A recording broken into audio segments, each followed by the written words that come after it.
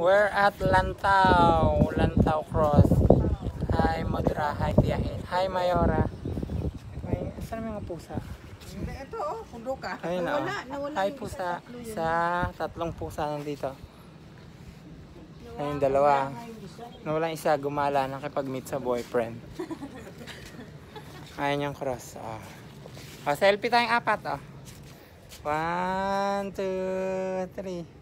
Nakatago ka tiyahin. Hmm. Okay na. Overview ng Palompon. Sabi, ayun daw. Ah, nanlaw tao.